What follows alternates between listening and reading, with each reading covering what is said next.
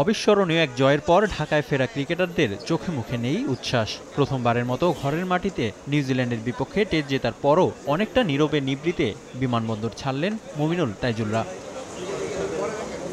Sylhet test জেতার পর দলের প্রতিক্রিয়া ও পরবর্তী ম্যাচের পরিকল্পনা জানতে অপেক্ষায় ছিলেন গণমাধ্যম কর্মীরা। তবে মিডিয়াকে এড়িয়ে গেছে বাংলাদেশ দল। আনুষ্ঠানিক বক্তব্যের জন্য মেহেদি হাসান মিরাজকে অনুরোধ করা হলে রাজি হননি তিনি।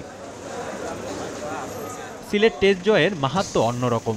সাকিব তামিম লিটনের মতো বড় তারকাদের ছাড়াই টেস্ট চ্যাম্পিয়নশিপের নতুন চক্রে শুভ সূচনা করেছে টিম বাংলাদেশ। তাই বেশ আত্মবিশ্বাসী স্বাগতিকরা। বিশ্বকাপের পর দলের সামর্থ্য নিয়ে প্রশ্ন তুলেছেন অনেকে। মাঠের বাইরে নানা ইস্যুতেও তৈরি হয়েছে বিতর্ক। এর মাঝে শক্তিশালী নিউজিল্যান্ডের বিপক্ষে জয়টাকে বিশেষ প্রাপ্তি হিসেবে দেখছেন হাতুরে সিংয়ের শিষ্যরা। এখন হোয়াইট ওয়াশের স্বপ্নে বিভোর নাজমুল হোসেন শান্তর দল। ব্যাংক থেকে নগদে অ্যাড মানি করে প্রতি সপ্তাহে জিতুন মালদ্বীপে কাপল হলিডে প্যাকেজ।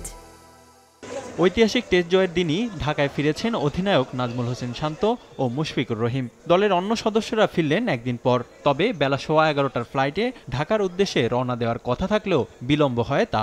পরে দুপুর দুইটায় হজরত শাহজালাল আন্তর্জাতিক বিমানবন্দরে পৌঁছায় দল। একই ফ্লাইটে সিলেট থেকে ঢাকায় এসেছে নিউজিল্যান্ড দলও।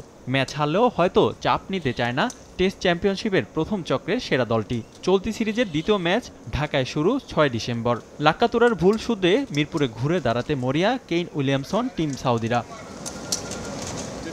গত বছর মাউন্ট বঙ্গানুয়ে জিতে টেস্ট চ্যাম্পিয়নশিপের দ্বিতীয় চক্র শুরু করলেও ওই সিরিজ জেতা হয়নি বাংলাদেশের। এবারও সিরিজ জয়ের আশায় থাকা মুশফিক মুমিনুল শান্তদের জয় বঞ্চিত করার ছক কষছে ব্ল্যাক ক্যাপরা।